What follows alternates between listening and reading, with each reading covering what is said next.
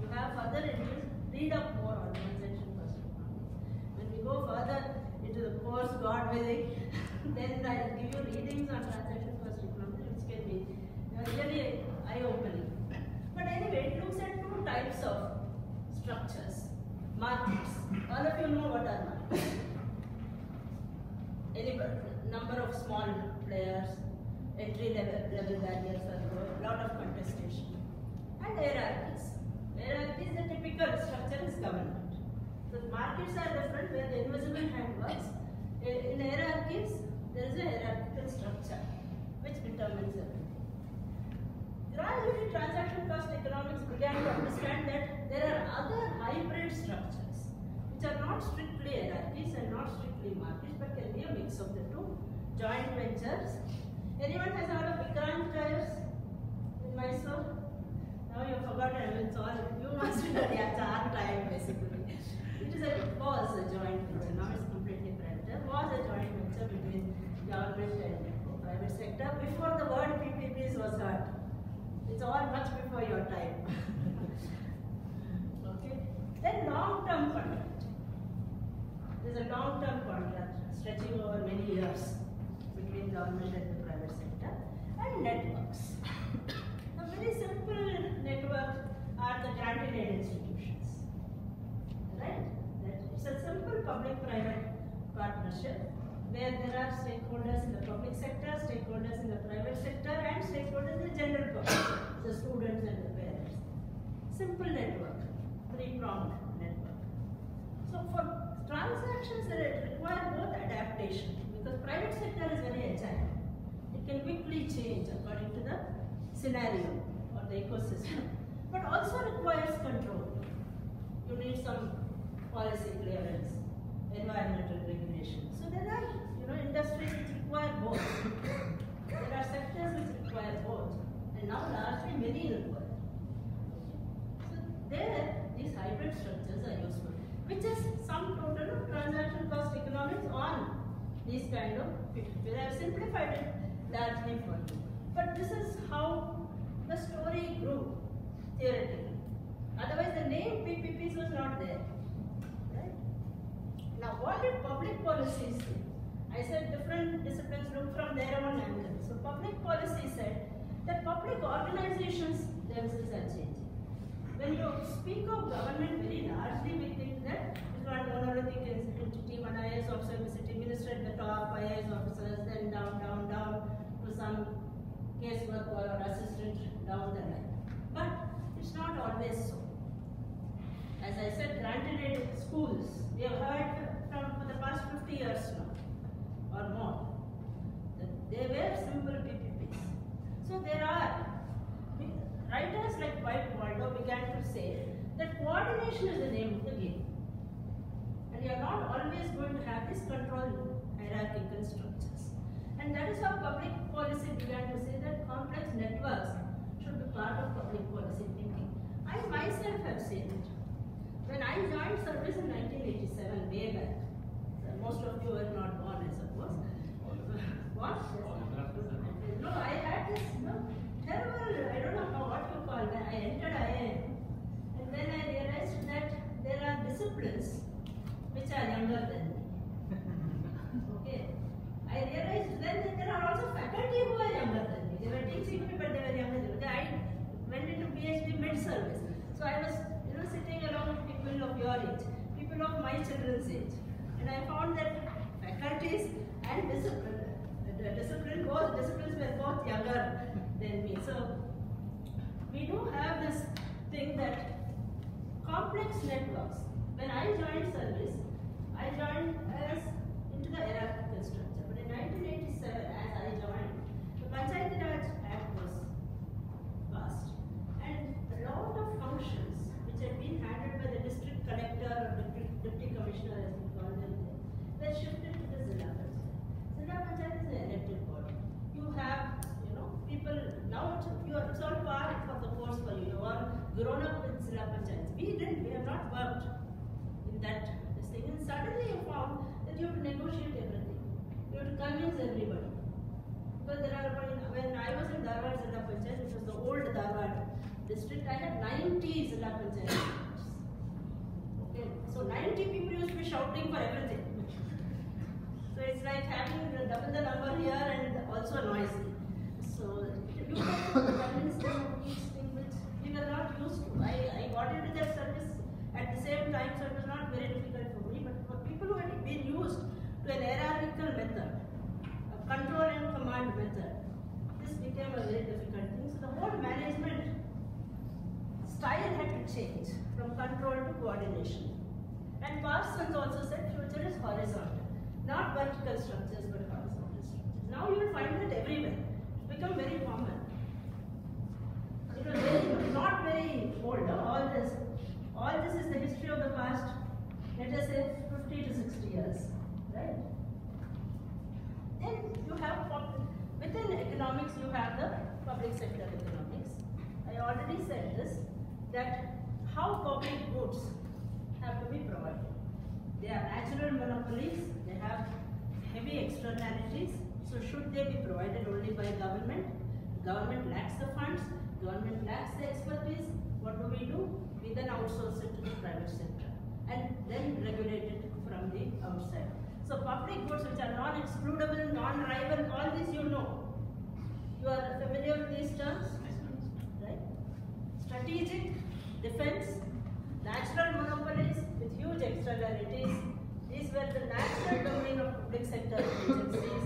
But we moved gradually to a system which accepted that public may still fund it.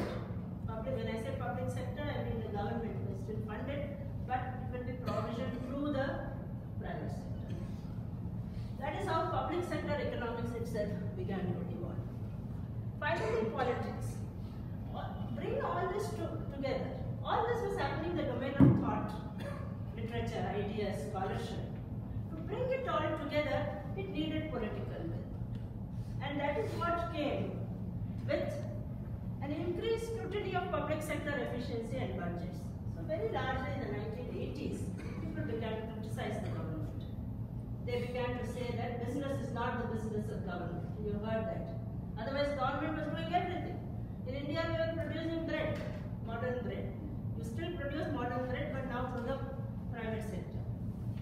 There were two great proponents of this. Margaret, this is called the new public management. So there was a new style of public management in. And Margaret Thatcher, heard of her?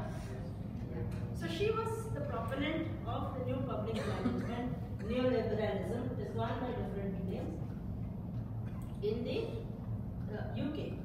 And a similar role was played by Ronald Reagan in the USA. Okay. How many of you have heard of Keynes and Von Hayek?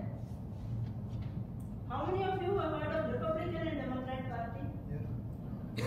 That's a that's a more familiar. okay. Heard of conservatives and Labour? Similar role in the UK. Okay. Broadly, Von Hayek and Keynes, Joseph Maynard Keynes were the thought leaders of two different streams of economics, right? Von Hayek provisioning, you know, through the private sector. All this thing that business is not the business of government, there should be growth of private sector. All that is what is the philosophy or the economic philosophy of one. The command and control type of economy should go. Keynes had a different idea. He said government has a social responsibility and therefore a lot of provisioning. If you leave everything to the private sector, they will not care for the poor. And for larger public interest, you should have a lot of government investment, which is what happened, for example, in the USA in the New Deal. Right? So every few years, and this is cyclical, okay? Von Hayek's ideas and Keynes' ideas are cyclical. You may not hear it as One Hayek and Keynes, which you should. Uh, essential for every economic student and management read a bit about them, but largely it is cyclical. So when markets fail, then everybody says government should regulate. Satyam, big thing we had some years ago, and said, oh, what is government doing? What is the regulator doing? What was SEBI doing? Etc. etc. Then you know when the control becomes more, then they say, oh, they are not allowing us to breathe. Corporate sector cannot work. so deregulate.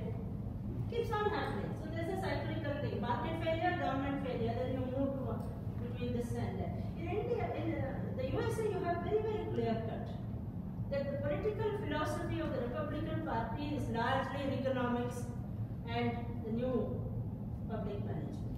Always, it has always remained so in different names. The Democrats, Keynesian, lot of healthcare and education. You'll hear a lot of health about healthcare and all every time the Democrats come to power. In the UK also it is largely divided. Conservatives are like.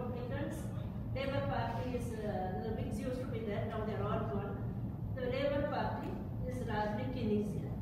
In India we don't have a clear cut. Everybody is everything. we don't have that clear cut. For example, to say that very largely Congress party tries to show itself as Keynesian. We care for the poor, we are for the downtrodden. But the whole neoliberalism in India was brought by Manmohan Singh and P.V. Narasimha in 1990. So you don't have Is is projecting its own image as something very Keynesian for the downtrodden. The uh, NDA government is projecting itself as you know pro-corporate, for pro-growth. But these in India are very fuzzy. But we all try to do everything in this.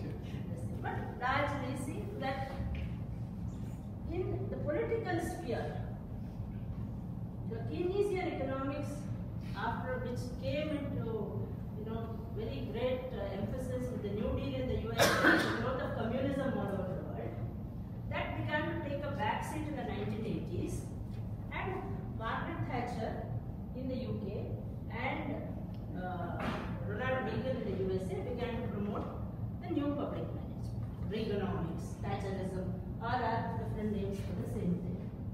That is how all that story which I told you about the transaction cost economics and the public policy ideas and then the public sector economics came into practice because of the political developments.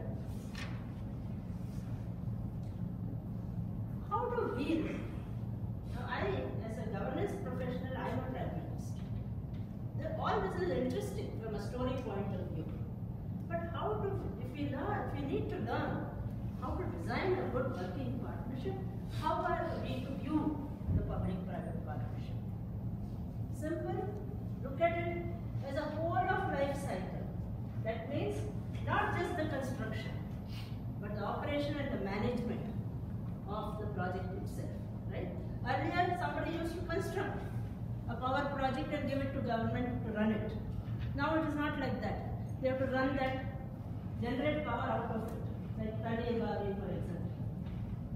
Long term, it's not two to three years, time span of 30 years, 40 years, 60 years, contractual arrangement. So how do you keep it in place? Through a contract, two parties or more, but broadly public and private. So that is, these are the essential characteristics. And it delivers a public infrastructure or service. For making a pen, which is excludable, rival, well, what do you need? A private sector can do this very well. But provide education. That's a greater public good. Therefore, you need some amount of public. Know. Even there, we are finding as pricing becomes more sophisticated. It's all a question of pricing. It's all a question of pricing. Can you price defense? The security which you are being provided by the military of the Indian Armed Forces, can you monetize it? Can you price it? It is not priceable. It's not easy to price it. It's still easy to monetize. Very difficult to price because there's a psychological aspect. There are so many things that are dependent on that. You are sitting here, you and me sitting here comfortably is also dependent on.